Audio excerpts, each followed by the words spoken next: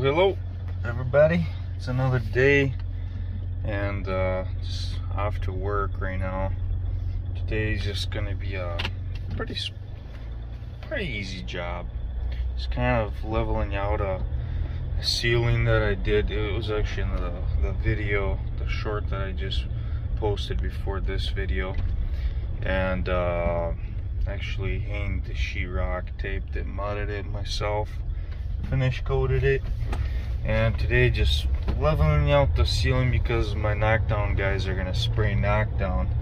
And if you don't level it out good then there's gonna be humps which will be bad and you don't want those humps. It's like a it, it looks really bad. I mean you look at the ceiling there's gonna be like a hump like you like a bump. It, and it's just kind of it looks ugly so the way to get rid of that when you're patching in the ceiling is making sure that you're fully uh, leveling it all out. So just pulled up to the coffee shop. Like this one YouTuber says. It is, I mean, it's basically a coffee shop. It has all the, uh, coffee machines and stuff. But yeah.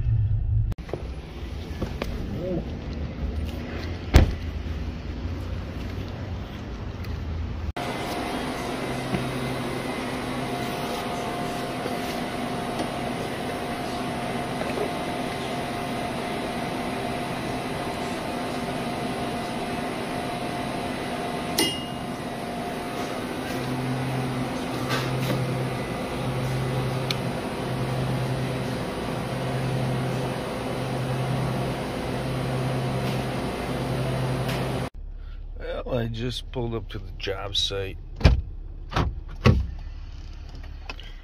Let's get to work.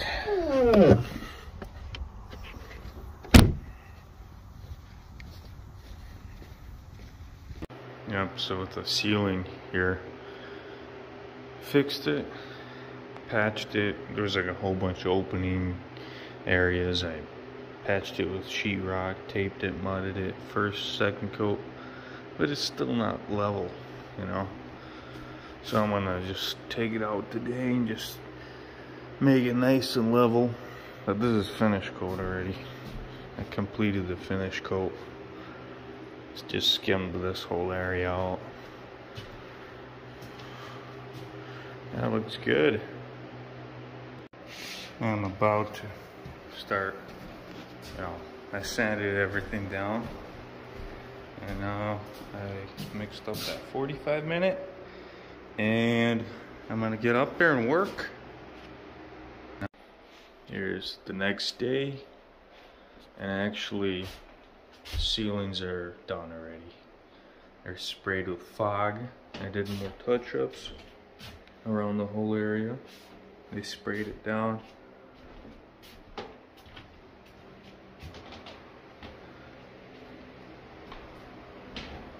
And I just want to explain a little bit of what fog is.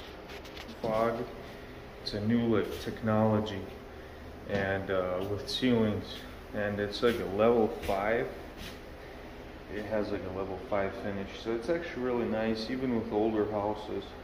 If you scrape the popcorn maybe it's really nice to just fog it. Even if it bleeds through go like the, the yellow little yellowness it still really levels out the whole area. And then after fog, you spray knockdown, and it just, just, I, I, perfect, really nice quality, you know, really nice finish. But there was a crack, which is nice actually after fog. You can actually take a light and look through the ceiling and you'll see cracks. That's just not dry yet, but there's a crack right here that I fixed, which is nice because you want to fix that crack before spraying knockdown. Otherwise, you, get into some real problems actually. And then another thing that I wanted to say with fog, how you spray fog. Maybe later on in the in the videos I'll show you guys how to spray it actually. But you have it's like a hose, it's like painting almost there's an extension on your on your gun. It's, and they the people that I use they have a truck so they a box truck and they bring a hose in here and then they just spray it like this. I used to actually spray fog as well. But you spray it and you go by section so you do half of it and then turn around and then go and then finish it that way but it's actually pretty easy. But you do everything you know. Get all the closets everything. And it actually takes about 30 minutes to spray this whole level so very fast. And professional very professional looking.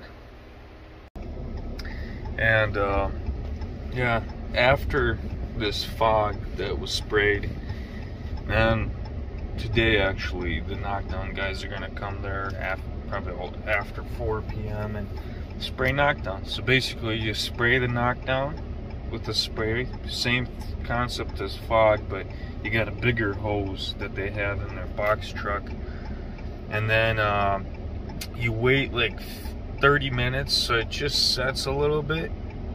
And then you take these rubber uh, squeegee things, whatever you call them, rubber uh, spatulas or whatever. I'll show you guys later how to do it. But and then you just feather the whole room. Go one way and then the other way.